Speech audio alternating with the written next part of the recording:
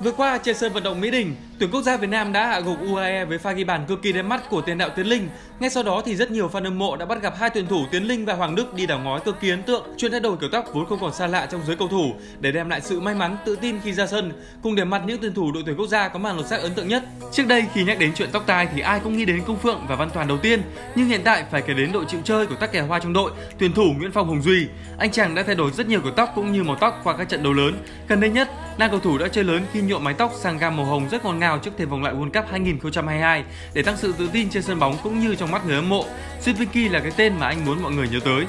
Văn Thanh vốn quen thuộc với kiểu tóc undercut đơn giản, chỉn chu nay cũng đã lột xác 180 độ với kiểu tóc mới đầy ấn tượng, tinh nghịch và phá cách với tên gọi là Primlock hay còn gọi vui là anh da đen. Kiểu tóc đang trở thành xu hướng mới của giới trẻ. Kiểu đồ mới của Văn Thanh vừa trình làng đã tạo ra một cơn sốt trong giới người hâm mộ bóng đá. Chỉ một ngày sau chiến thắng 1-0 của đội tuyển Việt Nam trước UAE trong vòng loại World Cup, Tiến Linh đã rủ Hoàng Đức đi cắt tóc thay đổi diện mạo với hai kiểu tóc độc đáo. Size web highlight xanh rêu với những nét uốn bồng bềnh đã giúp cho gương mặt góc cạnh của Tiến Linh trở nên cân đối hơn. Hoàng Đức đã chọn kiểu layer vuốt form side part cùng màu nhuộm xanh blue, khiến cho anh chàng càng tăng được độ đẹp trai, ngọt ngào, tôn lên được gương mặt cũng như nước da trắng của mình.